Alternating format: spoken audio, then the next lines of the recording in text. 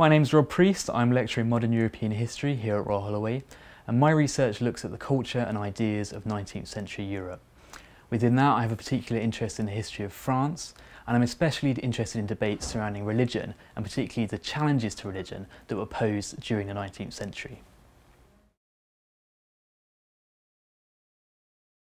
One of the things that I'm most interested in in my teaching, and this is something that draws very much on the way that I do my own research, is using as wide a variety of sources as possible. So in my courses here at Royal Holloway, I, like a lot of the other lecturers, try to use a really eclectic range of sources and try to engage students with them, whether that's film, drama, novels, works of political thought, all of these things come together in my courses. And so for example, in my uh, Group 2 course that I'm starting next year, this is a course for second and third year undergraduates, we'll be looking not just at some of the great works of political philosophy, works by Rousseau, um, works by the Abbé Sieyès, a great revolutionary, but also um, some of the great novels of the 19th century, um, works like Les Miserables, which has been recently made into a, a number of successful films, and also some of the most early works of silent film that were produced during the First World War in France. And what we're doing is trying to think about how all these different sorts of sources knit together uh, into a kind of common debate, how they looked at common concerns that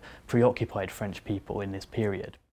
One of the things that I think is really exciting for students coming to study at university level, particularly at a place like Royal Holloway, is that you're working with active research historians and that means an opportunity to work with primary sources on a week-to-week -week basis. This is the real kind of, the real nitty-gritty, the coal face of history. And in my courses, for example, I'm often bringing texts that I'm working with on the publications that I'm producing at the moment into the classroom, sometimes translating them so that students can read them with me. And what I really treasure from that and what I think students get a lot out of as well is an opportunity to sort of feed into the research that's going on. You know, I'm often stimulated by the discussions that I have with students students, often bringing a totally new perspective on the text that I've been looking at for months or years, and I take that away and incorporate that into my research. And at the same time, I'm often bringing texts um, from the research level into the classroom and letting students see what is actually the latest stuff that's going on in the field and that's stuff that you just don't have access to um, at A level.